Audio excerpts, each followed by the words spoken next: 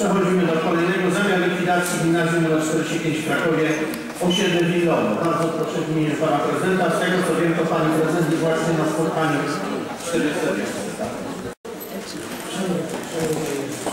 Szanowni Państwo, projekt prezydenta miasta Krakowa uchwała Rady Miasta z dnia, przepraszam, w sprawie zamiaru likwidacji gimnazjum nr 45 w Krakowie się wygląda. Z dnia 31 sierpnia 2015 roku gimnazjum Dziękuję.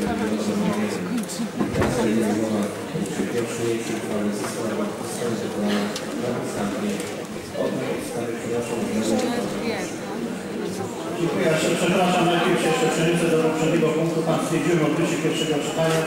Ustaliłem termin składania autopoprawek na 28, termin składania poprawek 29 stycznia, rzecz dotyczy gimnazjum nr 27. Teraz y, wprowadzenie. Czy w tej sprawie ktoś z Państwa radnych chce zabrać? Pan radny Torres.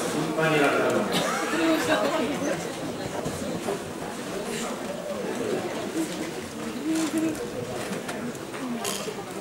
Panie Przewodniczący, Szanowni Państwo Radni, drodzy Państwo, ten druk 1097 nie zawiera pełnej informacji, ponieważ budynek Gimnazjum 45, równie wyższa szkoła, nie całe gimnazjum zawiera cały budynek, to jest jedna sprawa. Druga sprawa, chciałem Państwu powiedzieć, poinformować, że do tego gimnazjum chodzą uczniowie, uczęszczają uczniowie z kilku osiedli. To jest osiedle Wiliowe, na którym jest gimnazjum 45, osiedle ogrodowe, Wandy, Stalowe, na Skarpie, Młodości, Centrum A oraz osiedla podmiejskie. Hutnicze jeszcze, tak, jeszcze hutnicze, dokładnie dziękuję panu radnemu. To jest jedna, drodzy Państwo, sprawa i proszę zwrócić uwagę, co jest napisane w uzasadnieniu w punkcie numer 6. Zapewnia się miejsce dla uczniów Gimnazjum 45, Gimnazjum 48 na osiedlu kolorowym, gdzie ci uczniowie będą musieli przechodzić przez trzy bardzo ruchliwe ulice. To jest w kierunku ulicy Kocnierzowskiej, Wieńczyckiej. Dlatego tu widzę bardzo duże niebezpieczeństwo. To jest jedna sprawa, drodzy Państwo. Mm, Wydaje mi się, nie wydaje mi się, ale należy tu przyjąć program naprawczy, nie likwidację. Na pewno rozmowy konsultacyjne te problemy rozwiążą. To jest jedna sprawa. I druga sprawa, no mam tu duże pretensje, Panie Przewodniczący, do Pani Prezydent, że my jako radni z tego okręgu chcielibyśmy również być na tym spotkaniu dzisiaj na Willowe. Tam, jest Pani Prezydent, z niektórymi radnymi patrząc tu na salę. Jest to dużo nie w porządku. Także jestem bardzo, bardzo z tego powodu zasmucony. Dziękuję bardzo. Wiem, ale nie ja organizuję te wizyty, więc Pani Rada Nowa. Pan Radny Pietrus, przepraszam, nie, Pan Radny Rafał, przepraszam.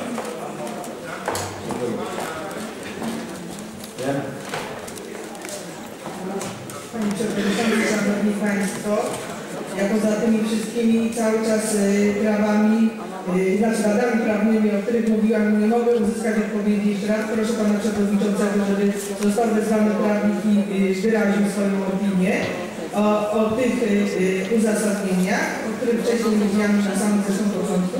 Chcę Państwu zwrócić uwagę, że na osiedlu gminowym y, sięga się po dwie szkoły po liceum e, 16 i po e, gimnazjum 45.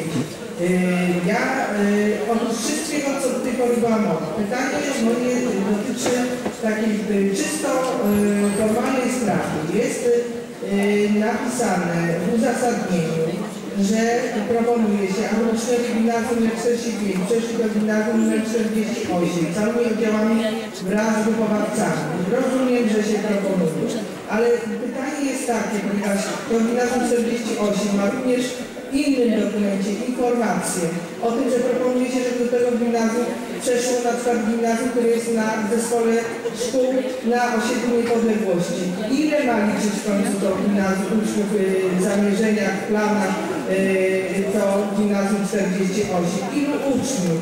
I czy ktoś rozmawiał z dyrektorem, z pani dyrektor tej szkoły i ustalił, że y, tak może być? Czy były takie wyliczenia? Czy to faktycznie ma jakąś zasadność? Dziękuję. Dziękuję, tylko jeśli chodzi o sprawę formalną, znaczy, ponieważ jest opinia radcy prawnego, więc ja nie będę wzywał innego radcy prawnego, żeby potwierdził opinię prawną. Mamy opinię prawną na tym druku, czyli mamy opinię prawnika, że sprawa jest w porządku. No trudno, żeby to było weryfikowane. Być może, ale no, musimy jakoś tutaj stosować. Bardzo proszę pan radny Ścigars. Potem pan radny radny. Dziękuję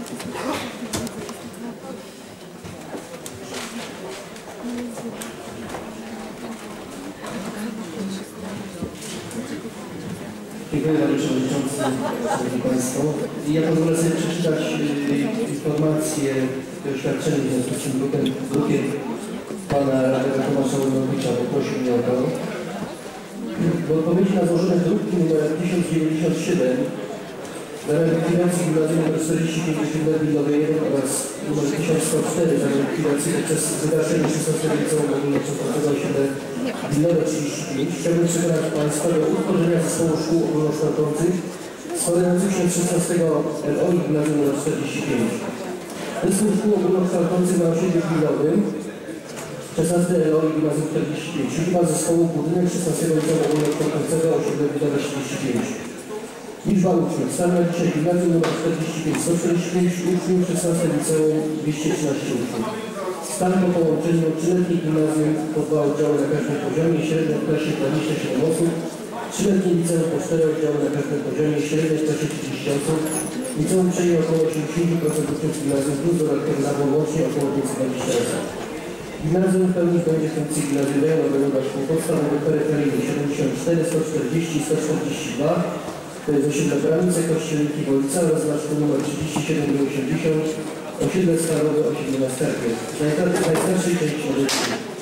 Dzisiaj w związku z likwidacją gimnazjum nr 50, druk 1094, likwidacją zespołu szkół ogólnokształcących nr 16, numer 1106, najstarszy część Dobrotłuka na osiedla podmiejskie oddalają się od planowanej lokalizacji gimnazjum rejonowych. W ten sposób gimnazjum nr 45 nadal będzie mogło pełnić funkcję gimnazjum rejonowego, a także część rejon osiedla Szkole Centrum B i C i szkolnego po likwidowanym gimnazjum nr 50, zapewniając w ten sposób warunki bezpiecznego dotarcia do szkoły. Liceum ogólnokształcące y, 16 w pewnej większości uczniów z gimnazjum nr 45 zapewniając im możliwość kontynuacji nauki. W ten sposób na długie lata, na długie lata mamy zapewnioną działalność tej szkoły. Y, 16 LO jest jednym z najstarszych krakowskich ogólniaków. Obydwie szkoły zlokalizowa- zlokalizowane są w najstarszej części Nowej Huty. Te placówki podejmują różne innowacyjne działania. Język chiński, klasy policyjne, liczne projekty edukacyjne z większością krajów Europy, USA, Izraela, Izraela i Chinami. Jedyne- w Krakowie klasy sportowe z sekcją koszykówki we współpracy z KS Krakowie. Posiadają certyfikaty szkoły z klasą szkoły odkrytych talentów czy szkoły pełniającej bezpieczeństwo, ale także nowocześnie wyposażone pracownie językowe i przedmiotowe. Proszę pamiętać, że realizując projekt Nowa przyszłości musimy także pamiętać o rozwoju tych osiedli i inwestowaniu w szkoły na tym terenie. Tomasz Rynowicz, dziękuję. Dziękuję Panie Pan Radny Radwa. Bardzo proszę. Szanowni Państwo, no, taka mam troszeczkę refleksję nostalgiczną, ponieważ to była budynek, to była pierwsza moja szkoła w życiu, ale to pomijam. Y, Powiem tylko tyle. Ja tak właśnie zacząłem też nas analizować i pytam, dlaczego y, likwiduje się to gimnazjum? Nie wiem, czy chodzi o to, żeby szkoła, która tam funkcjonuje w nowym budynku, przejęła ten budynek, a zawsze miała takie plany, bo i ma rację, że chce poszerzać swoją bazę lokalową. To jest pierwsza, taka wątpliwość, którą e, tam mają e, mieszkańcy i rodzice e, e, dzieci, które uczęsz- uczęszczają do, do tego gimnazjum. A po drugie pytam, dlaczego raptem jedno gimnazjum na kolorowy ma taką wielką szansę, że do niego chcą, że tak powiem, dołączyć dzieci z innych gimnazjum, co, co decyduje? A na przykład faktycznie kasuje się nieodległo, e, po drugiej stronie, że tak powiem, czyli za tą Meksem likwiduje się zespół szkół, który nie ma możliwości, żeby po prostu dzieci na przykład z kolorowego przeszły tam. Właśnie się zastanawiam, co, jaki jest parametr decyzyjny, który powoduje, że jeden dyrektor ma świetlaną przyszłość przed sobą, a inni do kasacji. Dziękuję. Bardzo proszę Pani Radna Maliszewska.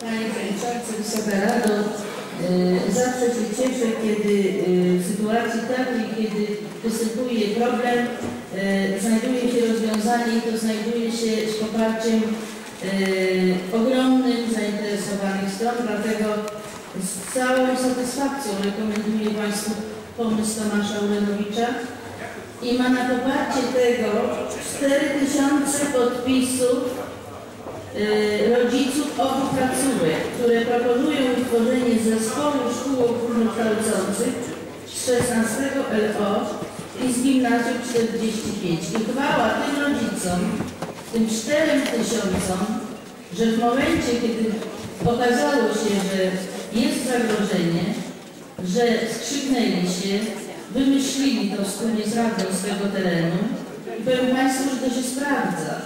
Pamiętacie, równy rok temu chcieliśmy likwidować jedyne gimnazjum na Azorach.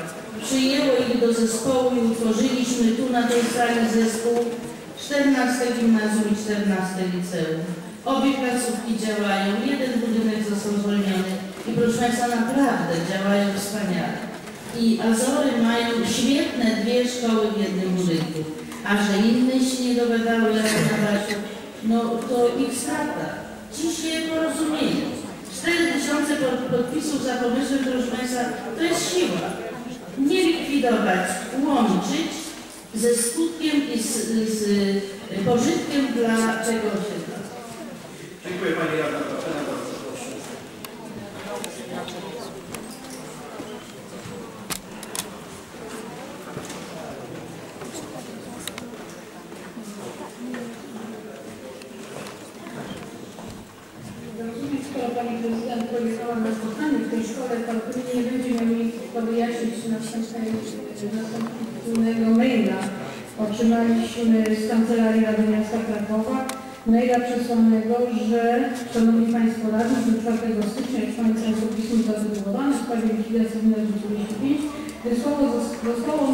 adresu szkolnego.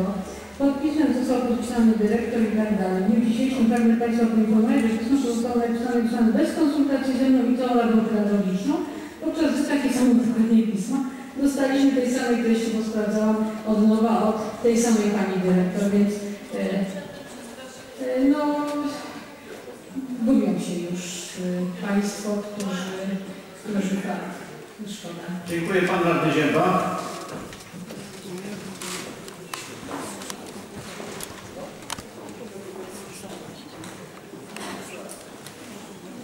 Szanowni Państwo,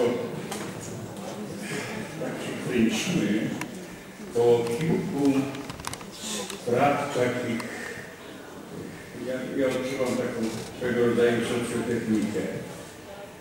E, wysokość, znaczy e, poziom, a tak zwany poziom, bo ten poziom jest różnie w moim odczuciu weryfikowany, mierzony. Koszty, prawda, też czasem uzasadnione, czasem nie. Ja nie, nie usłyszałem tutaj e, e, jakiejś porządnej dyskusji na temat dobra dziecka. Tylko kręcimy te lody, prawda, w jedną stronę, przepraszam za takie trywialne wyrażenie, e, ale, ale to nęci, mąci w głowie od, od tych samych argumentów żadnych. Ja już nie proszę Państwa, bo e, jeżeli kogoś nie przekonało wystąpienie tego zacnego człowieka, pancerza, panie przewodniczący, trochę starszego od pana, a były argumenty, że a to tam jest młoda dyrektorka. Proszę Państwa, przeciwstawienie tych dwóch osób yy, daje obraz, któremu nie sposób się oprzeć.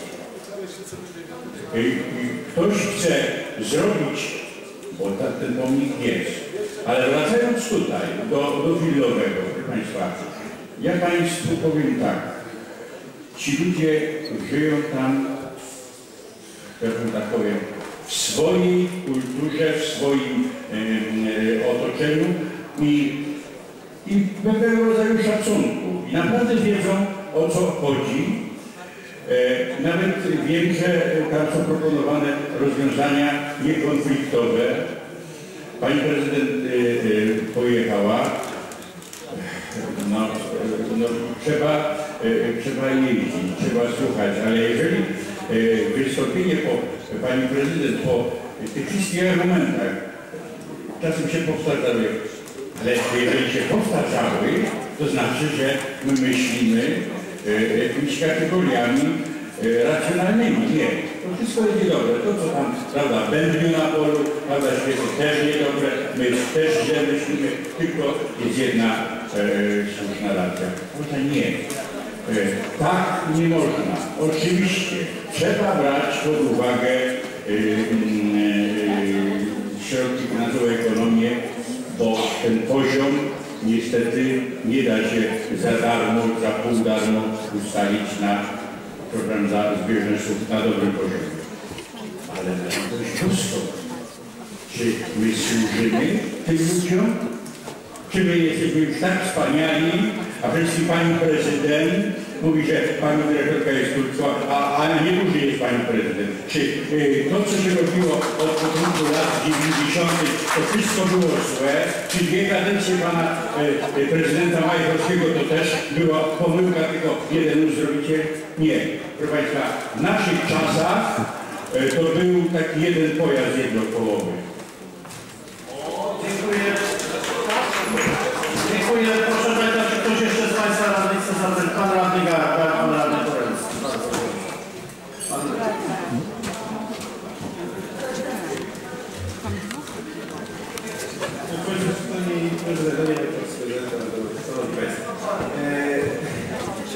Ja nie będę prostował, bo naprawdę nieistotne, kto jest jakimś pomysłodawcą.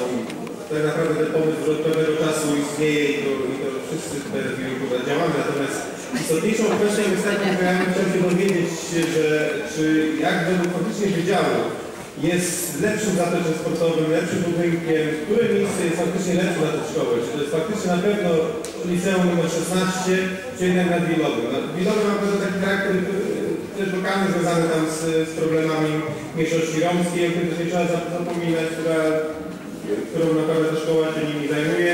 Druga rzecz, dużą e, zapleczem sportowym, możliwość rozwoju po prostu dużej, dużej powierzchni, którą ma tam za pomocą swojej szkoły. Nie jak jest w 16 liceum. I no i ciekawy budynek, który na pewno, gdybyśmy pamiętamy jak słyszeli o muze- o muzeum, o teatrze ludowym, jak, to jest fajny budynek z tego okresu, to również ta szkoła jest bardzo podobna i gdyby była tak ładnie odnowiona jak teatr ludowy, na pewno wyglądała tak samo. Ale mam pytanie, który jest lepszy który da szkoły do tych połączonych szkół był lepszy? Dziękuję. Czy ktoś jeszcze z Państwa radnych? Pan y, Poremski, bardzo proszę, potem Pan Urenowicz. Szanowny Panie Przewodniczący, drodzy Państwo, ja składam wniosek formalny o odrzucenie w pierwszym czytaniu. Drugi.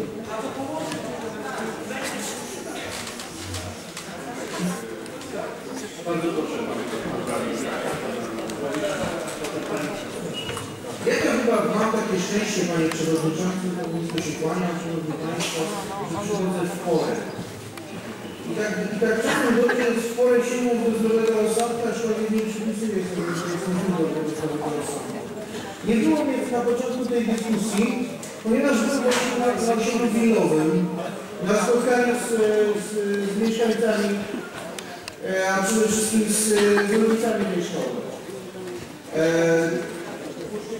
z, z rodzicami uczniów szkoły, oczywiście, tak. Szanowni Państwo, tam jest zawarty kompromis między rodzicami, przede wszystkim z gronem pedagogicznym, e, rodzicami, mam nadzieję, że miastem, do czego będę gorąco przekonywał już niedługo, aby utworzyć zespół szkół ogólnokształcących w tym miejscu, co pozwala dać szansę na rozwój.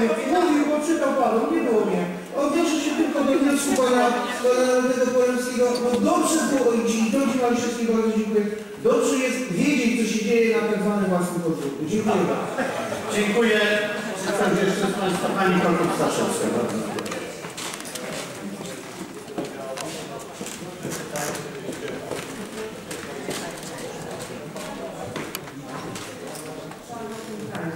Ja e, tak się przysłuchuję, bo to już ta dyskusja, najpierw endeki, teraz domy, e, teraz szkoły i jedno wydaje mi się, że my potrafimy w Polsce robić wszystko, żeby coś schrzanić, a potem się chwalimy sukcesami, żeśmy to odwrócili. Myślę, że u podstaw tego, że szkoły, które powinny być, bo ja jestem poruszona też miałam dwójkę dzieci, chodziły do tej ulubionej szkoły pana y, radnego, szkoły 95. Uważam, że to rzeczywiście dobra szkoła. Proszę Państwa, co decyduje o tym, że my teraz mamy taki problem, problem mają rodzice, problem mają dzieci i zgadzam się z Radą Dzienną, że mówimy tutaj o dzieciach.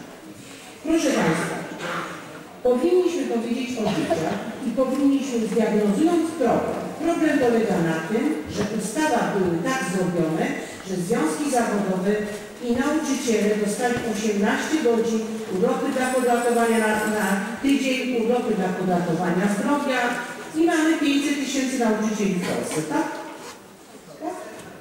Tak. Miasto kosztowało 18 milionów urlopy dla podratowania zdrowia, tak? Tak. Czyli to jest diagnoza. Diagnoza jest następująca. Czy przez to są bardzo dobre wyniki w szkołach?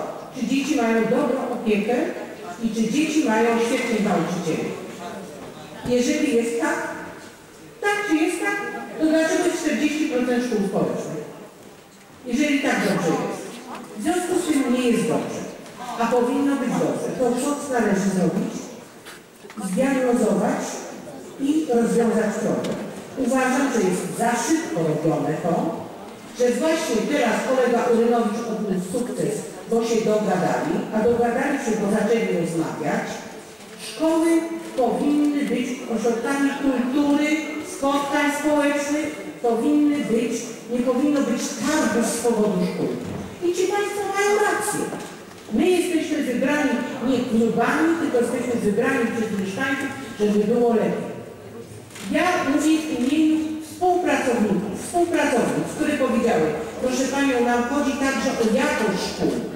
Nie chodzi o bliskość, bo czasami się wodzi. Do Todzi Maliszewskiej pielęgniarki przyjeżdżały, przywoziły dzieci z różnych części miasta, bo była dobra szkoła. Dlaczego? Dobry dyrektor, dobrzy nauczyciele. Dobry dyrektor, dobrzy nauczyciele. Proszę Państwa, utrudniamy tym dobrym dyrektorom, bo czasami związki zawodowe decydują i rozdają karty. Zdiagnozujmy problem, gdzie w której szkole jest źle, dlaczego szkoły są złe, dlaczego je należy zamykać. Może niekoniecznie. Może wystarczy zmienić dyrektora, może wystarczy coś zmienić. Proszę Państwa, zdiagnozujmy do końca problem. Dziękuję bardzo. Dziękuję bardzo. Z Państwa, Pan Radny Wojtowicz jeszcze, proszę Państwa, przypomnę, że jeszcze mamy 2, 4, 6, 8, 10 druków. E, także czeka nas dłuższa rozmowa. Pan Radny Wojtowicz, potem Pani Radna Patek.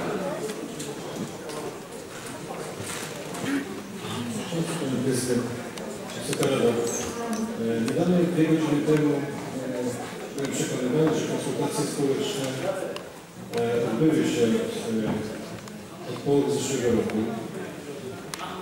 Nie rozumiem w związku z tym tego, co stało się e, dokładnie z tym projektem. Uważam, że skoro e, 4000 rodziców e, podpisało się pod wnioskiem, aby połączyć gimnazjum z liceum i stworzyć zespół szkołowo-kształcący. I stało się to w ciągu dwóch tygodni. To nie rozumiem, dlaczego nie można było tych, podczas tych konsultacji, ja rozumiem to dobrze, spowodować, żeby dzisiaj w ogóle na ten temat nie, nie dyskutować, tylko by się odbyło e, kategoria właśnie tej konsultacji społecznej. E, w związku z tym jakby to jest kolejny dowód na to, że te konsultacje społeczne nie były przeprowadzone dobrze. I podtrzymujemy w związku z tym to swoje e, stanowisko, że niestety, pomimo obietnic z tej poprzedniej e, tury likwidacji szkół, jednak te konsultacje nie były dostateczne. Dziękuję Pani bardzo, Pan Patek. Nie, przepraszam. E, przepraszam, jeszcze Pan Radny, dwie minuty Pan Radny Pan e, Urynowicz i potem Jeszcze raz przepraszam. Y, To są te podpisy popierające inicjatywę Pani Przewodniczącej. Dziękuję bardzo. Czy odpowiedzi Pani Prezydent chce powiedzieć?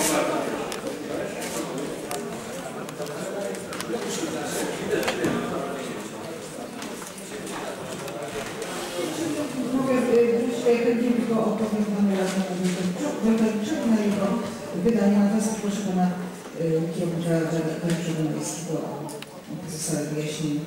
Otóż y, tak jest w naszym społeczeństwie, panie radny, że te rozmowy szkoły, które często wielokrotnie szkoły nie chcą się. Tak jak chcą zostać w tym samym miejscu jako szkoła. Dopiero ten Generalnie określając, można brać bez sprawy, że można było podjąć taką rozmowę. Dlatego bardzo cenną rzeczą jest ten czas, który się nazywa zamiarem likwidacji i potem druga tura, czyli likwidacja. Bo to jest ten moment, w którym te środowiska uświadamiają sobie, że w zasadzie muszą się teraz już porozumieć, mogą się porozumieć. No nigdy nie było to możliwe, bo nie było możliwe, bo takie rozmowy, takie były podejmowane z naszej strony, były podejmowane również ze strony dyrektora, dyrektora liceum, od których widziałam, nie było na to żadnej zgody. Do dzisiaj 10 minut to jest zgodne z Także to jest po prostu naprawdę dodana do tej trudnej i przykrej atmosfery dla nas wszystkich. Dziękuję.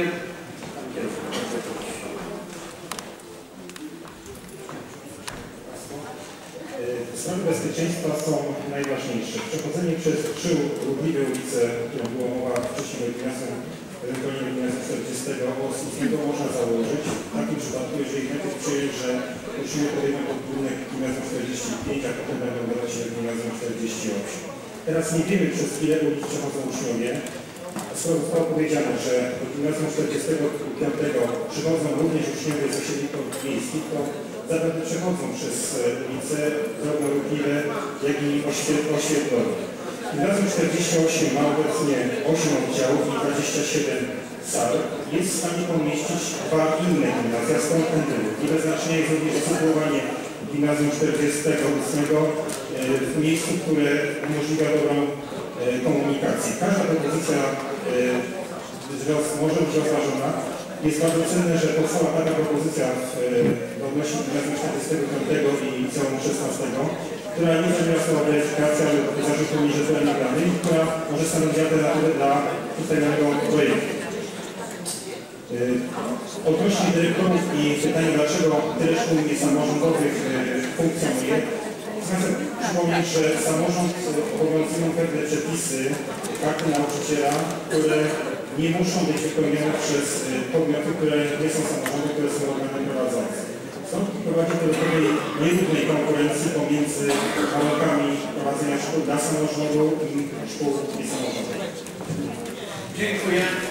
Rozumiem, że informacja została przekazana. Proszę Państwa, mamy wniosek o odrzucenie w pierwszym czytaniu, ale tak jak sygnalizowałem Państwu, teraz te wnioski zgrupujemy i będziemy głosowali na koniec. I potem, potem przedstawimy, przedstawimy, ustalimy te składania poprawek